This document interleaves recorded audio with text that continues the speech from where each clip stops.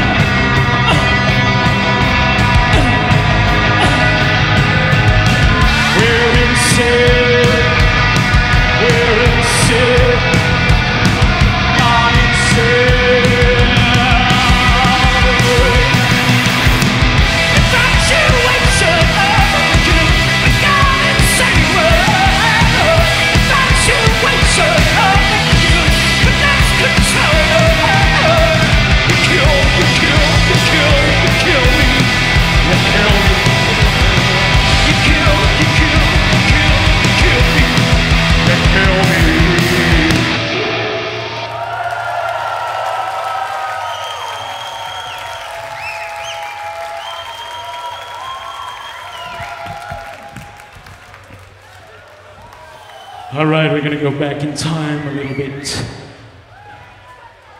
and have another climax. I'm gonna sing about the most powerful force in the universe. That is love. Holding on to love in a cold,